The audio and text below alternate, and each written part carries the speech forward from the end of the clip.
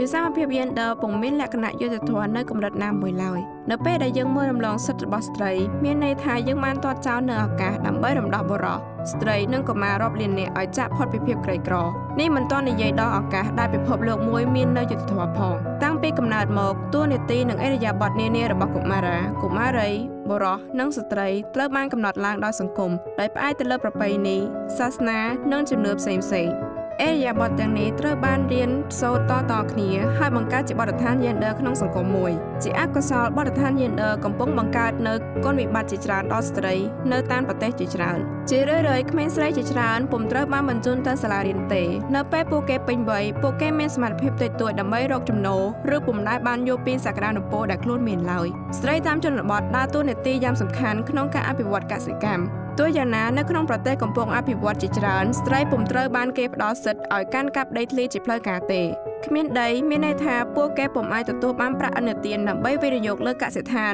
ឬអាជីវកម្មរបស់ពួកគេឡើយ។ បញ្ហានេះក៏មានន័យផងដែរថាពួកគេពុំអាចគ្រប់គ្រងលើការប្រើប្រាស់ដីឬទទួលបានផលប្រយោជន៍ពីវាឡើយជាទូទៅបុរសជាអ្នកធ្វើការសម្រេចចិត្តក្នុងគ្រួសារដូចជារបៀបប្រើប្រាស់ទ្រព្យធនក្នុងគ្រួសារជាដើមគុណវិបត្តិទាំងនេះជារឿយៗត្រូវបានគេពង្រឹងពេលអនុវត្តជាក់ស្ដែងក្នុងសង្គមហើយវាបានកម្រិតឱកាសស្ត្រីក្នុងការចាប់យកសេវាកម្មនានាដូចជាវគ្គបណ្ដុះបណ្ដាលជាដើមជំនឿនិងវប្បធម៌ក៏អាចរឹតបន្តឹងនៅឱកាសនានារបស់ស្ត្រីផងដែរឧទាហរណ៍នៅប្រទេសហ្សាំប៊ីស្ត្រីពុំអាចអុំទូកបានទេព្រោះគេចាត់ទុកថាវាជាប្រផ្នូលអាក្រក់ផលវិបាកនៃបញ្ហាទាំងអស់នេះគឺធ្វើឲ្យស្ត្រីនៅតែក្រហើយផលិតផលកសិកម្មពុំអាចឈានដល់សក្តានុពលរបស់ខ្លួនហើយភាពក្រីក្រនិងការអត់ឃ្លាននៅតែបន្តកើតឡើងមាននៅប្រទេសកំពុងអភិវឌ្ឍបទដ្ឋានសង្គមនានាដែលបានកំណត់ឱកាសរបស់ស្ត្រីចាំបាច់ត្រូវធ្វើការសិក្សាស្វែងយល់ឲ្យបានច្បាស់ហើយបន្ទាប់មកផ្លាស់ប្ដូរវាចេញ តាមរយៈវិធានឆ្ពោះទៅរកសមភាព gender យើងអាចផ្លាស់ប្ដូរបទដ្ឋានសង្គមនិងកាត់បន្ថយគម្លាតរវាងបុរសនិងស្ត្រីក្នុងការទទួលបានធនធាន និងសេវាកម្មនានាក្នុងរយៈពេលវែងការផ្លាស់ប្ដូរទៀមទានៅគ្រប់កម្រិតហើយបុរសនិងស្ត្រីត្រូវតែចូលរួមទាំងអស់គ្នាទើបអាចផ្លាស់ប្ដូរបាន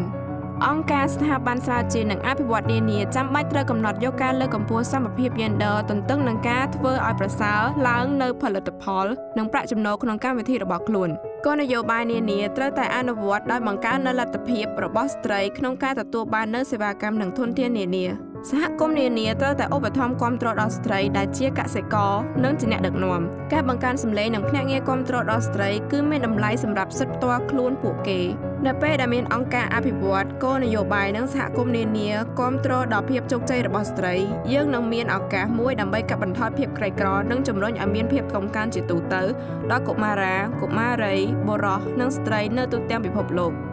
ដើម្បីស្វែងយល់បន្ថែមសូមចូលទៅកាន់គេហទំព័រ aas.cgiar.org